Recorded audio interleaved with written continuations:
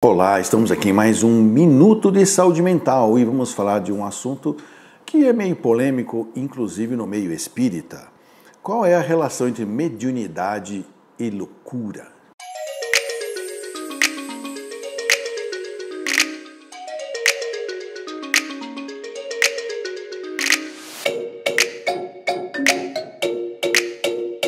Na verdade, existe um livro famoso chamado Loucura sob Novo Prisma, que foi escrito pelo Dr. Adolfo Bezerra de Menezes Cavalcante, que foi é considerado o pai do espiritismo no Brasil. Ele que acabou criando a Federação Espírita Brasileira, era um médico, homeopata, cirurgião, também foi médico militar, foi político, né, foi deputado e vereador algumas vezes na cidade do Rio de Janeiro. E ele conta para nós, vamos dizer assim, é, até por uma experiência própria, é, de um filho dele que acabou enveredando os transtornos mentais.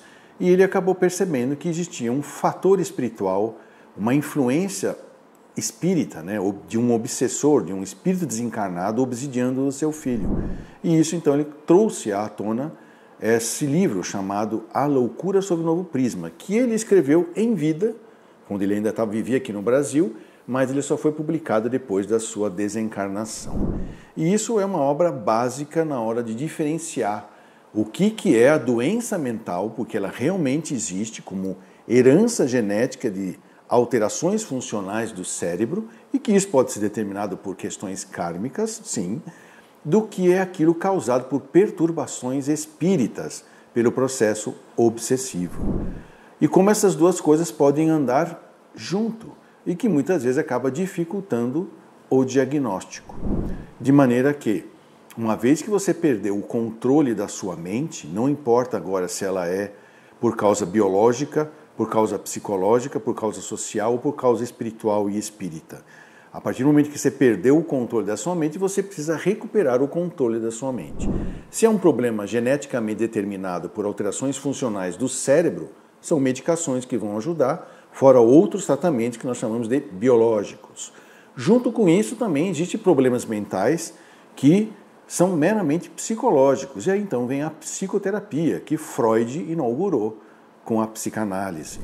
Tem a questão também de não se isolar a pessoa com transtorno mental da vida do dia a dia dela, que isso só agrava. Portanto, tem que manter a pessoa no seu contexto social e ou reinseri-la se ela já estiver internada, inclusive. E tem os aspectos espirituais, que é o para que essa pessoa vive, ou seja, revisão de valores éticos e morais. E se ela tiver também é, possibilidade de fazer uma assistência espiritual numa casa espírita, lembrando que é diferente tratamento de assistência espiritual, ela também poderá ser beneficiada com os processos de fluidoterapia, que são os passes, e da desobsessão, que é conversar com o eventual espírito obsessor que talvez esteja o assediando. Então quer dizer que todo doente mental, toda pessoa com transtorno mental, tem um espírito assediando ele? Não necessariamente. Como também não necessariamente a causa do seu transtorno mental é espiritual. Pode ter sido o gatilho para ter um problema psicológico e isso abrir um gatilho de uma lesão cerebral que ele já trazia de maneira latente, ela se torna patente. Então, o que significa isso? Temos que ver a pessoa como um todo, biopsicossocial, espiritual e também na fenomenologia espírita. Agora, existem transtornos mediúnicos, eu chamo de mediunopatias, devido a uma mediunidade pouco organizada, pouco elucidada e que talvez a pessoa exerça sem saber para que, que serve, né, vamos dizer assim, a mediunidade, e principalmente a quem serve, né, que é a Jesus, é o tal da mediunidade de Jesus, ela pode realmente ter uma mediunopatia e sofrer os processos obsessivos tão graves, desde uma obsessão simples até uma fascinação, em que a pessoa acha que ela está falando com Jesus, até uma subjugação, aonde ela perde o controle neuropsicomotor da vida dela e passa a ter comportamentos que lembram um doente mental, um transtorno mental grave. Por isso, tem que sempre, o médico tem que sempre poder ver todos esses aspectos. E se ele não entende dessa parte espírita, encaminha para quem entende.